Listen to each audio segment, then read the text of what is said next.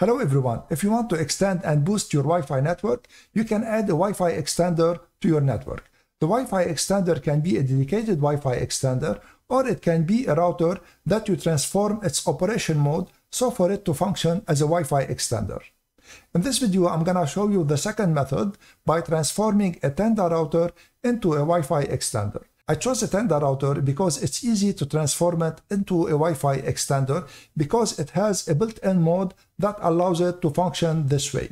Also, Tenda routers are budget friendly and they are most of the time less expensive than a dedicated Wi-Fi extender and they provide more functionalities and they can be repurposed in the future in case you want to use them as routers. In my example, I'll be using the Tenda RX2 Pro AX1500 router, but the instructions I'm gonna show you apply to all Tenda routers that have the operation mode that is called Client plus AP, and this is an operation mode that is a wireless extender for Tenda routers.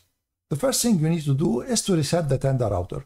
The RX2 Pro has on the back of it a button that is WPS and reset at the same time. Press and hold the button for 5 seconds until the LED light blinks rapidly red on the router and then release the button and wait approximately 60 seconds for the router to reboot. You know that the router rebooted when the LED light starts blinking slowly green. Now you need to get the default SSID of the router. So turn the router upside down and get this information from the back of the router. Now that you prepared the router and you have its default SSID, you need to connect your PC to this SSID.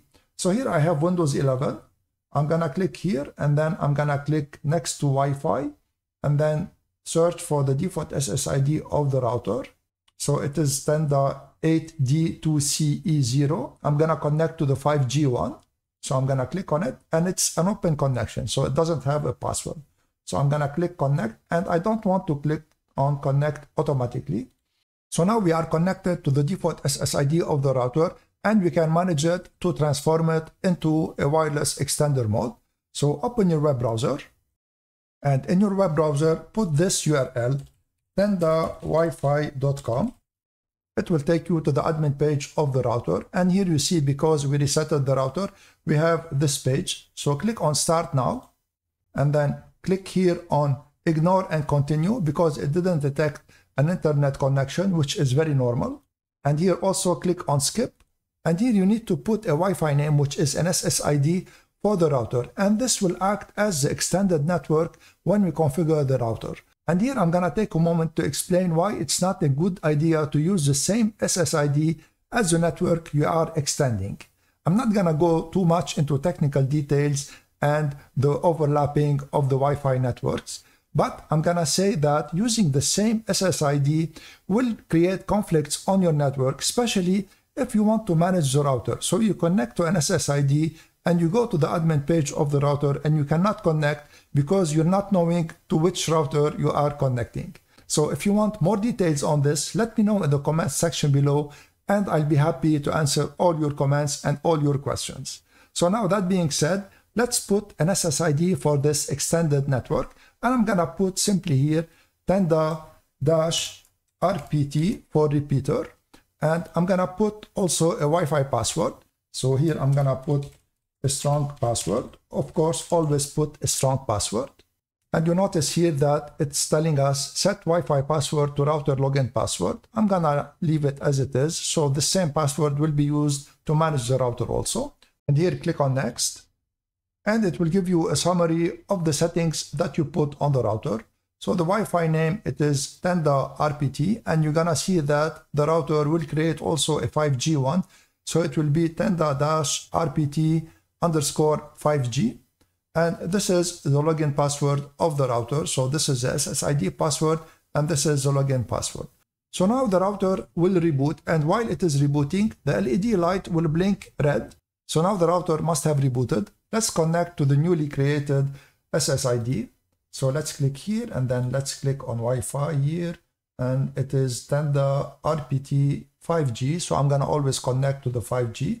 So click on it and here you need to put the password that we put on the router. So it is strong pass 123 and then hit enter to connect to the network. So now we connected to the router. This is what we need to do on the administration page. remove everything after .com and hit enter.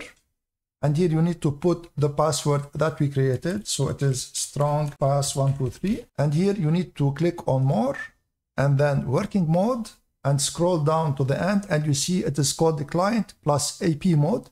And this is the wireless extender mode in Tenda routers. So click on switch mode and click on OK. And here what it will do is that it will go and scan the Wi-Fi networks in the area and you need to choose the Wi-Fi network that you want to extend.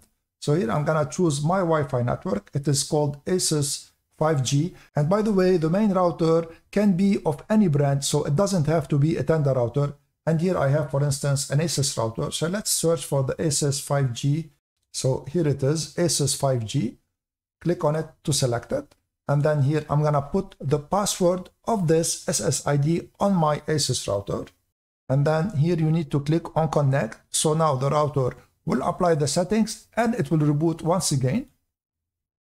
So you see switch mode successfully it says and it is rebooting now. So we need to wait for it to reboot and this way the configuration will be finished and I'm gonna show you afterwards how to go into the router and all these configuration options here will be changed because the router now switched to a wireless extender mode.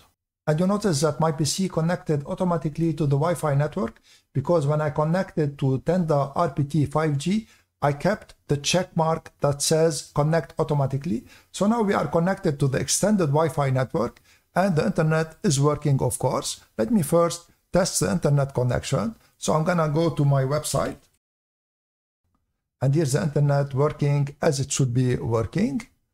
And still I want to show you here after you switch the mode of the router what options you have in case you want to change for instance the network that you are extending or if you change the password of this network how you can do it on your router. So let's log into the admin page of the Tenda router. And I told you that the options here will change. So you see that the options are drastically reduced and you see that our network is working very good here. So let me click on more here to show you how to manage the extended network click on working mode and then here you see client plus AP mode. It is now current mode. Click on current mode and here you have the management of the network in case you want to manage it. So if you want to change the network that you are extending you simply press here on this button and it will rescan all the networks and you can select the network you want to extend. And if the password of the network that you are extending also changed you can change it here and then you click on connect. So now we extended the Wi-Fi network using a Tenda router. I want to thank you all for watching and I hope that this video was useful to you. In case it was, please share it, subscribe to my channel and give this video a thumbs up. I would really appreciate it and this will help my channel greatly and this way you'll not miss my future videos. I'm Eloy from Knowledge Sharing Tech. See you in the next video.